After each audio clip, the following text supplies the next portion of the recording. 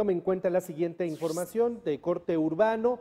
Fíjese que está cerrada la circulación sobre a la altura de la 2 Sur con sentido a la 14 Sur. En este punto realizan obras para abrirle paso justamente a la línea 3 del Ruta. Están colocando pavimento en el carril central. Además, se está levantando ahí uno de los paraderos. El tráfico en este punto es complicado, sobre todo ahora con las lluvias.